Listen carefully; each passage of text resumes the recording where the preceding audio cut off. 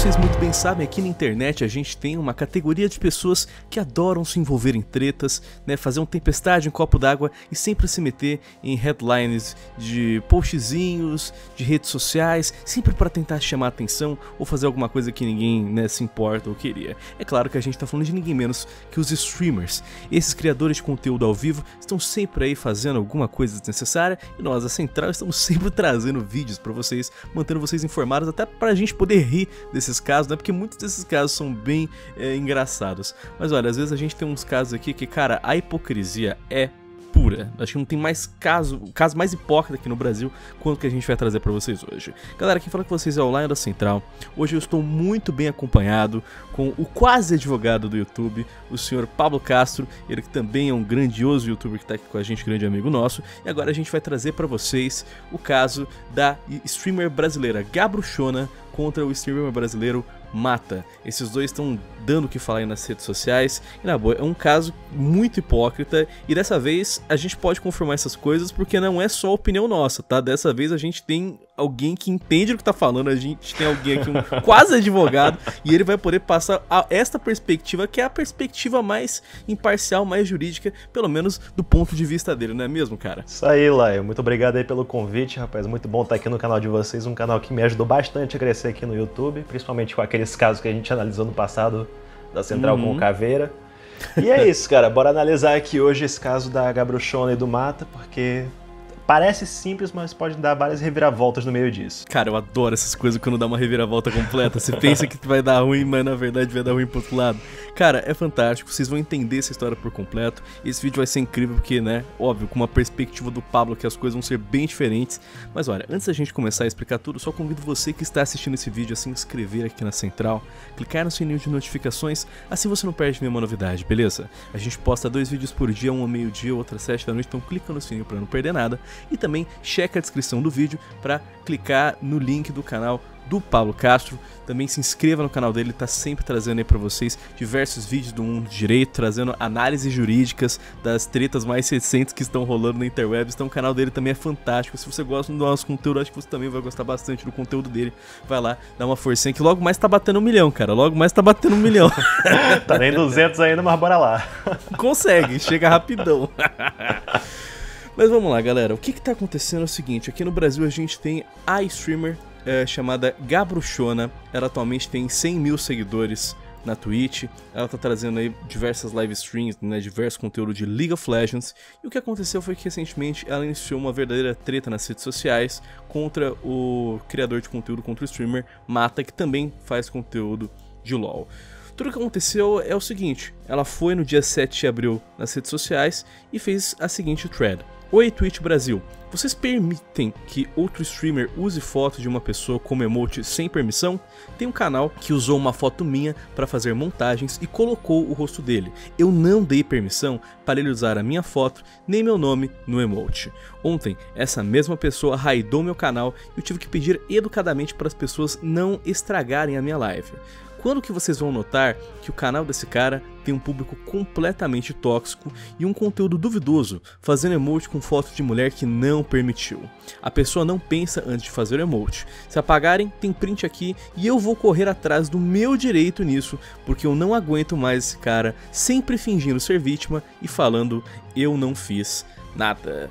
Então, a Gabruchona tá pistola, né? Tá puta porque basicamente tem esse emote que foi feito com o rosto dela em tese do canal do Mata e aí ela não gostou desse emote, não só isso, é, de acordo com ela também, o Mata fez uma raid, né? Basicamente o Mata teria falado para os seus inscritos, para os seus seguidores irem no canal dela, ficar spamando o chat, sim, ficar sim. mandando emote, enchendo o saco, e ela não gostou. Então é uma situação bem específica. E aí fica a questão, ela falou que vai correr atrás do direito dela. Mas Pablo, ela tem direito numa situação dessas? Bom, primeiramente a gente precisa falar de uma coisa muito importante. Ela está alegando nesse caso direito de imagem. O direito de imagem, ele é garantido pela nossa Constituição, ele é um direito que está previsto na Constituição. A Constituição ela garante a proteção à vida privada, ao direito, à honra também, apesar de hoje a gente estar tá no século XXI, a gente não tem mais essa noção de honra como antigamente. Ainda existe a honra, tanto a objetiva como a subjetiva. No caso, a objetiva seria a forma como as pessoas, como as pessoas te enxergam e a subjetiva como você se enxerga a respeito de si mesmo. Mas beleza, ela tá alegando direito de imagem. Uma coisa que a gente precisa deixar claro é o seguinte: não tem a imagem dela nesse emote que ela tá falando. Esse emote que ela tá alegando é o rosto do Mata, com no máximo que tu olha lá a sobrancelha ou até o cabelo dela. Só que assim, o cabelo e a sobrancelha dela não tem nenhum traço muito característico. Então não é um cabelo azul com uma sobrancelha com vários riscos que a gente vê a pessoa fazendo. Então é uma coisa que tu pode chegar e falar: ah não, ele realmente usou uma parte do cabelo dela ou uma parte da sobrancelha. E mesmo que ele tivesse usado, isso não é violação de direito de imagem. O que, que seria a violação do direito de imagem lá? Violação de direito de imagem é tu chegar e pegar, por exemplo, a imagem do Lion e do White aqui da Central e começar a vender produtos da Central hum. com o direito de imagem de vocês, ou então você utilizar a imagem da pessoa, expor ela publicamente, começar a falar essa pessoa é uma vagabunda, essa pessoa não pode fazer esse tipo de coisa que ela faz porque isso é coisa horrível para a sociedade, é um desserviço são coisas que atacam diretamente a imagem e a honra dessa pessoa. Só que no caso, o que o Mata fez foi pegar uma imagem que é dele, do rosto dele, colocou um cabelo de mulher, uma sobrancelha de mulher, que a gente nem sabe exatamente se é dela, talvez até ele tenha falado lá que tem cerca de 10% de alguma imagem dela lá, mas poderia ser o cabelo e a sobrancelha de qualquer mulher, porque, uhum. como eu falei, não tem nenhum traço característico dela lá no cabelo ou na sobrancelha. Então, assim, ela quer processar ele por direito de imagem nesse caso. Ela poderia. É como eu falo o seguinte: o pessoal sempre me pergunta, Pablo, cabe processo aqui ou cabe processo aqui? Eu falei, cara, cabe processo para tudo. Tu pode processar a pessoa pra, pra, por qualquer coisa. Agora, tu ganhar é outra história.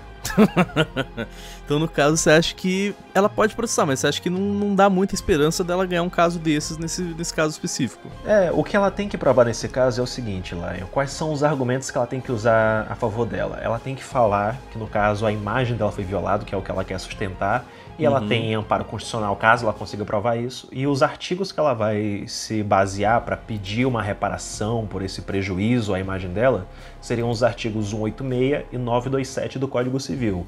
O artigo 186 é o artigo que fala do ato ilícito. O que, é que acontece? Quando você faz ou deixa de fazer alguma coisa voluntariamente e no meio desse processo você causa um dano a alguém, violando o direito dessa pessoa, você comete o que a gente chama de ato ilícito. Hum. E o artigo 927 ele vai complementar esse artigo 186 e vai falar quando você, por ato ilícito, violar direito de alguém e causar dano a essa pessoa, você fica obrigado a reparar esse dano. Então, literalmente, qualquer coisa que tu venha fazer contra alguém, ainda que tu faça isso sem ter aquela intenção clara de prejudicar a pessoa, tu pode acabar cometendo algum ato que prejudique essa pessoa de alguma uhum. forma, seja financeiramente ou moralmente, e aí nesse processo tu vai ser obrigado a reparar o dano. Então é isso que ela vai alegar. Ela vai iniciar um processo contra ele, falando que ele expôs a imagem dela ao ridículo, que isso prejudicou ela de alguma forma. Ela vai comprovar que ela sofreu um dano ou moral ou material, no caso. E aí, a partir disso, ela pode falar para o juiz: juiz, o meu dano vale tanto, o meu dano vale, sei lá, 10 mil reais, porque ele tem um público de 200 mil pessoas que assistem ele. Eu fui uhum. exposta ao ridículo para 200 mil pessoas. Por favor, repare meu dano aqui com um valor de 10 mil reais, 15 mil reais de indenização. Só como você falou, né? É complicado porque, primeiro, ela tem que provar que de fato é ela, né? Que ela tá sofrendo algum tipo de, de malefício nesse caso. Porque, primeiramente, como você falou, a imagem é um, é, uma, é um rosto dele photoshopado. Não precisa ser necessariamente ela. Então, ela vai ter que provar isso e depois ainda vai ter que provar ainda que ela tá passando por algo negativo, é muito complicado, né? Muito, muito, muito improvável isso daqui, né? E, e fica cada vez pior porque o que acontece? O próprio Mata foi lá e respondeu essas acusações, né? Ele fez um vídeo no seu canal é, no próprio dia 7 de abril com o título Minhas Respostas das Acusações Sem Provas da Gabruchona. E lá, cara, ele, ele mostrou que realmente ela provava não, não se importar com isso, né? A gente tem um clipe dela aqui falando que ela estava ciente uh, desse emote já fazia meses atrás, esse clipe é antigo, meses atrás ela já estava ciente disso e ela não se importava. É um ano, na verdade. Ele fala que tem tipo um ano que ela tem conhecimento Caramba. disso que tipo, ó, um, um, clipe de um ano atrás que ela falava, não me importa com os emotes, podem fazer. Ela até falou, né? Contanto que não seja de teor sexual, né? Contanto que não seja uma coisa adulta, não tem problema. Ela, ela deixa, ela não se importa. E aí agora, do nada, um ano depois, ela foi lá e agora tá, tá puta com, com um emote e vai querer processar ele. Então assim, que, que aconteceu aqui? Sei lá, parece que, sei lá, mano, ela tá com má fé. Por que que um momento ela alega uma coisa, agora mudou e já é outra coisa, ela quer processar o cara, sabe? Então, é como eu tava falando até, até com vocês antes de a gente começar a gravar, que é o seguinte, ela fala realmente isso, ah não, pode me zoar e tal, que não tem problema. Multi, se apagarem, tem print aqui, eu vou correr atrás do meu direito nisso, porque eu não aguento mais esse cara sempre fingindo ser vítima e falando, eu não fiz nada, que ela referindo a eu mata, tá? Bom, vamos agora aqui pro meu Twitter. Tô bonita, pelo menos. Se eu tiver. Qual é o emoji que ele fez me zoando, gente? Tô bonita, pelo menos. Se eu tiver bonita, tá ótimo, né? Pode usar a minha imagem, eu não ligo, não. Ah, essas coisas, né, gente? Quando a fama chega, as pessoas fazem memes com você, aquelas. Fazendo qualquer coisa com a minha imagem, sério, tipo, só. Só não... Gente, eu real não ligo de uma pessoa tá me zoando ou tá fazendo qualquer coisa com a minha imagem, sério. Tipo, só, só não gosto quando, tipo, é uma coisa sexual, tá ligado? Quando é uma coisa sexual, eu acho paia, porque tem muita criança que me acompanha. Só não gosto que faça nada sexual com a minha imagem, só que assim, é aquela história. Zoar é um termo muito uhum. amplo, é algo muito genérico. Tu falar assim, ah, pode me zoar. Beleza, o que é pode me zoar? É fazer uma sátira comigo? É fazer algo humorístico comigo? É fazer piada? Porque a pessoa ela pode considerar zoar desde fazer uma piada contigo, te colocar em um meme, quanto, por exemplo, dizer assim que tu, ah, coloca a tua imagem e fala assim, eu adoro estuprar crianças de 10 anos.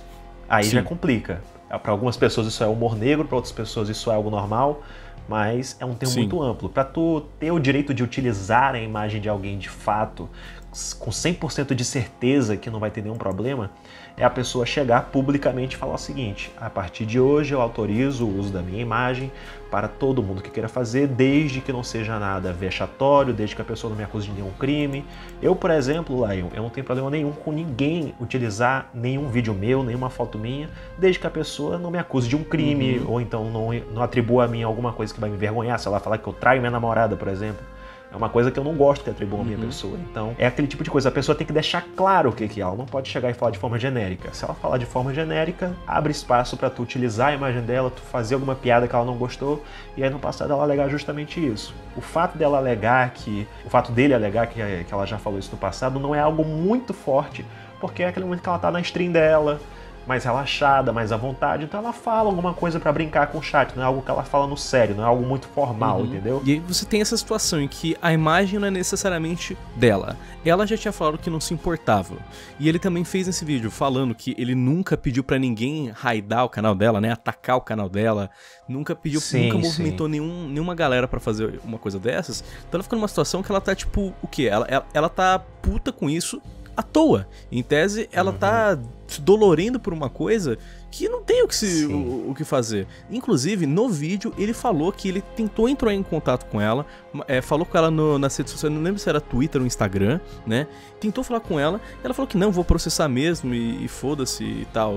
Tipo, dá pra ver que ele tentou resolver isso de uma maneira mais pacífica, de uma maneira que não fosse é, jurídica, e ela não se importa com isso. Então, cara, eu não consigo parar de pensar que isso daqui, na verdade, é chororô dela. É. Ela tá embucetando a tua com, esse, com a situação toda, porque, cara, ele até removeu já o emote, ele postou ali nas redes sociais, ó, já removi esse emote problemático. Então, assim, o emote não era sobre ela, ele já removeu o emote, ele não pedi, pediu para ninguém atacar ela. Porque com certeza vão inventar. Eu não sou de pessoa que fica raidando os outros. Eu odeio isso, mano. O máximo que eu peço é pra vocês irem no chat do CBLOL pra pôr emote meu lá, sabe? No chat do CBLOL, mano. Apenas chat do CBLOL. E ontem acho que foi no, no chat do Baiano assistindo o, o, o, Cebolão, né?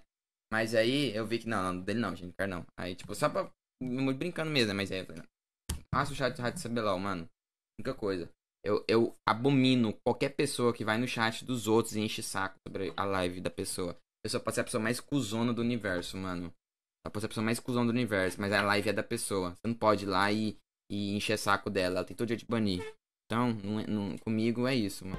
E, ele tá e ela fazendo esse movimento todo à toa não vai dar em nada, vai dar em pizza, porque por tudo que você tá me falando aqui, eu duvido que o juiz vai virar e falar: não, beleza, você foi realmente você foi danificado aí, você, você teve problemas aí, vou te dar uma indenização. Eu acho muito improvável, muito improvável. Então, para mim, embucetamento puro, e eu não sei por que ela tá fazendo uma coisa dessas, velho. Dava pra resolver de boas, não dava? O que eu falo é o seguinte, lá é pra todo mundo. Todo mundo me pergunta a questão de processo e tudo mais, eu falo o seguinte: é completamente legítimo que qualquer pessoa corra atrás do seu direito. Ela pode correr atrás do direito dela.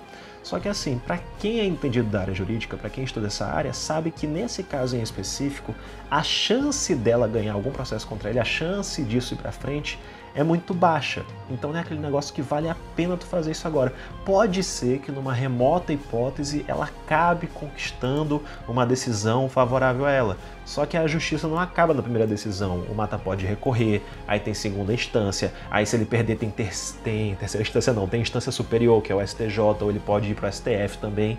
Então existem vários caminhos ainda. O processo mais simples do mundo leva até dois anos para ser concluído.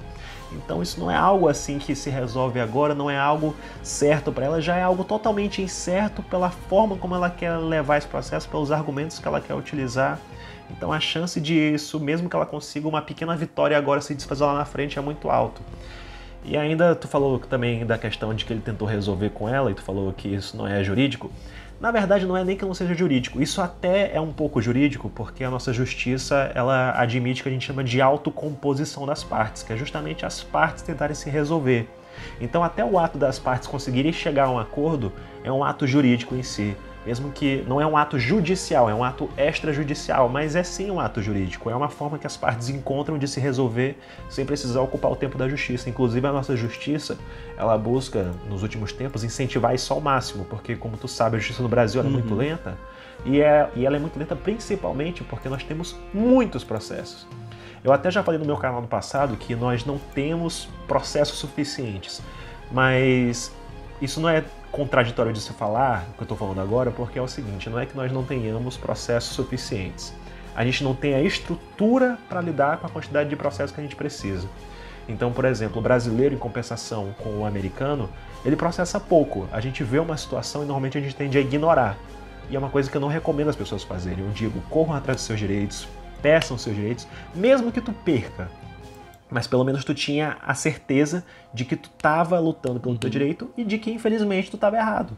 Mas não é errado que a pessoa lute pelo seu direito. Só que no caso dela, eu tenho quase certeza que assim que ela se consultar com um advogado, ele vai desencorajar ela a seguir à frente com isso. E, e, é engraçado que essa situação, além de ser totalmente inútil, de ser tipo muito bosta, ser um embuceto completo dela, que ela não precisava estar tá fazendo isso, né? A gente vê ainda que, tipo, isso pode ter uma grande reviravolta. Tanto, né, pela questão Sim. jurídica, quanto pela questão moral. Porque agora ela tá se fazendo uhum. de vítima. Mas o Mata postou também nas redes sociais no mesmo dia esse clipe fantástico em que ela tá na sua stream, né? Tá na, na, na stream dela.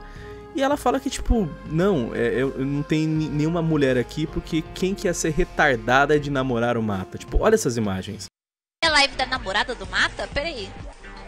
Eu não sei, é que eu acho que deve ter alguém aqui e eu não tô vendo. É que eu não tô vendo nenhuma retardada aqui pra namorar ele. Eu acho que você errou a live, tá? Uma pessoa chegou pra, chegou pra ele e chegou na stream dela e perguntou pra ela se ela era namorada do Mata, alguma coisa assim, fez alguma piada sobre ela ser namorada do Mata. Aí ela, ah, o quê? Ah não, é que eu não tenho nenhuma retardada pra namorar com ele não. Algo uhum. do tipo. Sim, a grande reviravolta nesse caso, da parte jurídica que tu falou também, é a seguinte: uma das coisas que ela fala e que o Mata nega é que ele teria incentivado os seguidores de, dele a ir na live dela para raidar. No caso, raidar é um termo para atacar, para ofender, para uma grande transportar uma grande massa de pessoas para um lugar para detonar uma pessoa.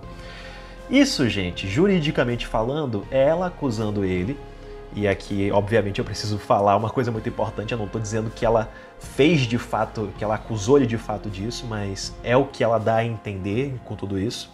Ela dá a entender que o que ela está acusando ele é: ele pegou os seguidores dele e mandou que eles, que eles cometessem injúrias contra mim. Injúria é um crime previsto no Código Penal, o artigo 140 do Código Penal, que é basicamente você ofender alguém de maneira pesada e gratuita com o fim de atacar a dignidade e a moral dessa pessoa. Então, basicamente o que ela está acusando ele nesse caso é de você incentivou os seus inscritos a cometer um crime contra mim. E isso é uma coisa muito pesada porque pode ir desde uma difamação que é você acusar alguém de algo que é vergonhoso para essa pessoa, e eu tenho certeza que para o Mata ser acusado de praticar esse tipo de ato sendo um streamer profissional que trabalha com marketing, então para ele é algo péssimo, porque ele tem que ser visto como uma pessoa séria, como uma pessoa que não faz esse tipo de coisa. Então isso pode ir desde uma difamação para ele, quanto até mesmo para uma calúnia. Porque a calúnia é justamente o crime de você acusar uma pessoa de praticar um crime. No caso, ela estaria acusando ele de incentivar os inscritos a cometer injúria contra ela, que é um crime. Só que aí também tem um detalhe muito interessante que é o seguinte: ela não chega a falar o nome dele. Tu percebe isso nos vídeos que ela não fala assim o nome dele. O máximo que ela chega a falar o nome dele é quando perguntam se é a live da namorada do Mata. Mas aí não foi ela que disse, foi um outro inscrito. Hoje em dia, não existem muitos casos de pessoas condenadas por calúnia e difamação é, quando tu não, cita, tu não cita o nome da pessoa, porque precisa ter a individualização da pessoa ofendida. No caso, tu precisa identificá-la de alguma forma. Então, por exemplo, eu não posso chegar aqui e falar: ah, tem um cara aí que ele usa nome de felino para ficar xingando os outros na internet. certo. precisa, precisa ser um negócio mais assim. O Lion, ele foi lá e mandou os inscritos dele no canal do Pablo e ficar atacando ele, falando que ele é um bosta, que ele não entende nada de direito. Pois é, tem que ser um negócio bem específico. O máximo que eu já achei até hoje de caso de crime contra a honra, onde a pessoa ela foi condenada sem ter falado o nome da outra pessoa, foi um crime de injúria uhum. que um jornalista cometeu contra um desembargador, que é uma pessoa do alto escalão do Poder Caralho. Judiciário. Então é algo meio até complicado a gente usar. Não estou alegando nada uhum. contra o desembargador, longe de mim, mas é aquele negócio que aos olhos da população leiga pode ficar um pouco mal uhum. visto. Então fica engraçado, né? Porque a gente vê tem até uma reviravolta, né? No caso, esse processo dela com ele provavelmente não vai dar em nada, você falou, né? Justamente, o advogado provavelmente vai uhum, desencorajar sim, sim. ela, enquanto ele agora ele tem um possível armamento para talvez ir atrás do direito dele, né? Como você falou, crime de calúnia. De novo, sim, como você falou, esse caso aqui, provavelmente ambos os lados vão dar em pizza, né? Provavelmente ninguém vai, vai ganhar em nada. Exatamente. Provavelmente, né? Como você falou, nunca se sabe nada de direito. É, o processo, ele é. Ele é ele, nenhum processo é 100%, nenhuma uma causa uhum. ganha nem uma causa é perdida. Tudo é possibilidade. Uhum. Só que assim, tem aquelas coisas que a gente fala, isso daqui é quase impossível de acontecer. Ou então, isso daqui é altamente provável de acontecer. Então o caso deles é um caso desse tipo. Ambos os lados têm seus argumentos em suas respectivas teses, porém é muito complicado que qualquer um desses argumentos vá para frente, porque do lado dela tem o direito de imagem que não foi usada a imagem dela, pelo menos não na minha interpretação, e eu tenho certeza que na, interpretação de muita gente uhum. da área uhum. jurídica. E do lado dele tem uma possível acusação falsa sendo cometida contra ele, só que também não foi citado o nome uhum. dele. No caso dele, até pode ser um pouquinho mais forte a alegação dele, já que ela chega a usar um print de uma live dele. Tem um print lá que mostra vários emotes lá desse daí sendo usados e é um print da live dele. Então ele pode alegar, não, mas tá bem que ela tá usando o print da minha live, só pode ser hum. para mim. Então, do lado dele tem até um pouquinho mais de peso, mas mesmo assim eu acho que não é suficiente para levar um processo para frente. Mas, cara, eu fico impressionado justamente com essa hipocrisia dela, sabe? Tipo, ela, ela querer passar de que não, eu estou sendo atacada, eu estou sendo, né, eu, eu estou sofrendo aqui esse, esse crime de imagem, estão usando minha imagem, sendo que depois a gente vê essas imagens aqui, ela não, chamando ele de retardado, né, falando que quem namora com, com ele é retardado, né, sendo que a gente vê que, tipo, isso aqui não tem nada a ver, que esse emotion não é necessariamente dela. Então, cara, eu fico impactado uhum. com a hipocrisia. A hipocrisia da Gabruchona. Eu também fico impactado como isso provavelmente não vai dar em nada. E honestamente, cara, que treta mais inútil. Né? Isso daqui poderia ter sido facilmente resolvido, como, como eles mesmos falaram por chat lá por trás das câmeras, mas não, os caras vão acabar resolvendo isso desse jeito. Então, assim, eu realmente espero que é, essa situação acabe logo. Eu acho que realmente, como você falou, não vai dar em, em nada, não vai nada dar jurídico uhum. é, especificamente. E fica, né, o, o, Fica um exemplo aí pra gente, né? Tipo, evite ao máximo usar imagens de outros youtubers, de outros streamers, porque senão dá uma situação besta dessas, né? Tipo, cara, qual, qual que é a necessidade de ter rolado isso tudo? Nada, né? Podia ter sido facilmente evitado, mas a mina foi lá e embucetou com o emote, tá dando numa história dessas. Olha, de qualquer maneira, eu acho muito interessante ver essa perspectiva jurídica, ver essa questão de direitos e ver essa reviravolta completa falando que agora é ele que vai ter munição para poder processar ela. então, honestamente, eu gostaria muito de agradecer a você, Paulo, por ter participado desse vídeo, por ter trazido nessa né, perspectiva do, do direito para cá. Eu gostaria também de convidar vocês que estão assistindo o vídeo a se inscrever no canal do Pablo e ficar de olho porque ele também vai trazer um vídeo, né, específico sobre esse caso, ele vai dar muito mais detalhes, ele vai ser muito mais é, direto nesse assunto. Aqui é mais um bate-papo entre a gente mesmo, né? Mas por favor, depois dê uma passada no canal dele, porque como você mesmo falou, né, cara? Você vai passar muito mais detalhes e, e muito mais artigos do seu próprio vídeo, não é mesmo? Sim, eu, eu, pretendo soltar um vídeo sobre isso, no caso, esse vídeo vai sair hoje ainda, então eu pretendo soltar um, um vídeo sobre isso amanhã, falando um pouco mais detalhadamente sobre o caso, com o meu uhum. estilo também, que eu passo um pouco, um pouco mais fácil. Com eu falando e explicando fica um pouco mais fácil de entender. Talvez aqui fica um pouco mais difícil, mas eu espero ter passado o conteúdo de uma forma bem simples para todo mundo saber exatamente o que, que pode desenrolar desse Perfeito. caso. Perfeito. Então, galera, deem uma olhada no canal do Pablo. O link vai estar na descrição. E, cara, depois de vocês ficarem cientes de tudo que aconteceu aqui, eu pergunto para vocês: que, que vocês acham dessa treta? O que, que vocês acham que quem tem a razão num caso desses, né? É o Mata, é a Gabruchona. Ela tá sendo hipócrita, sim ou claro? Deixa a sua opinião nos comentários. Eu quero saber o que, que vocês acham que vai dar todo, todo esse mimimi, todo esse chororô por causa de um emotezinho em live stream, beleza? Não se esqueçam também de se inscrever aqui na central, clicar o sininho de notificações para não perder nada e checar o canal do Pablo e o vídeo que ele também vai fazer essa treta com mais detalhes, beleza? Enfim, quem falou com vocês foi o Lion e o Pablo. Muito obrigado pela sua atenção. Eu espero que vocês tenham um ótimo dia, uma boa sorte nos campos de batalha e até mais. Valeu!